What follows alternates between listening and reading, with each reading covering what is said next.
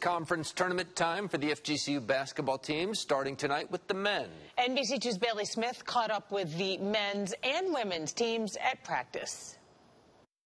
Ready?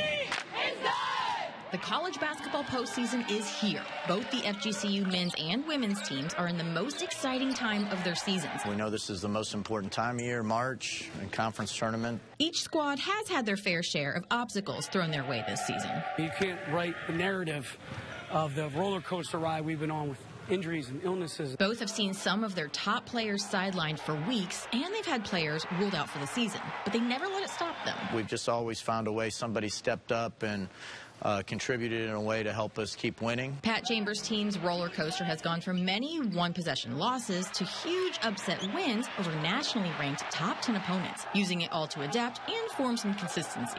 And uh, I feel like, you know, the group is just coming together right now, and uh, I feel like we've been playing our best recently. A lot of the losses, a lot of the failures have set us up for this three-game winning streak. Best team by March, going into the tournament, I think we're playing our best basketball. For the ladies, their momentum stems from a lot of streaks. They're on a 19-game winning streak right now, including a 16-0 record in the ASUN. I think Coach Smesko holds us to a standard, and um, that's kind of what we try to play up to. And um, like I said, we treat each game like we can get better at something. This is the seventh time the women's team went unbeaten in conference play. This year, defeating each ASUN team by double digits. But we do take some great pride in that we want to be a team that's good every year. Smesko's squad secured the top seed, so they'll host any game they play in the conference tourney, starting on Saturday, March 9th against the winner of the Bellarmine and Jacksonville matchup. I'd like to see the place completely packed. The guys coming in as the 7 seed tip off tonight at 7 p.m. in DeLand with a rematch of last year's first round matchup against Queens. So it's going to be a dogfight every time that you play them, you know, so you got to come to play. In Fort Myers, Bailey Smith, NBC2.